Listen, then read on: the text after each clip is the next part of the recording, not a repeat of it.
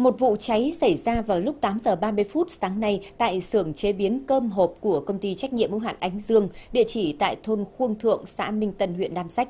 Nguyên nhân được xác định là do khi mất điện, công nhân của xưởng đã vận hành máy nổ để phát điện. Do bất cẩn đã làm vương vãi xăng dẫn đến cháy khiến ngọn lửa bùng phát lên khu vực nhà xưởng. Lực lượng chữa cháy tại chỗ của công ty cùng với sự hỗ trợ của chính quyền địa phương đã kịp thời khống chế đám cháy, không để cháy lan ra các khu vực xung quanh. Nhận được tin báo, Phòng Cảnh sát Phòng cháy chữa cháy cứu nạn cứu hộ Công an tỉnh cũng đã cử lực lượng có mặt tại hiện trường hỗ trợ chữa cháy và khắc phục hậu quả.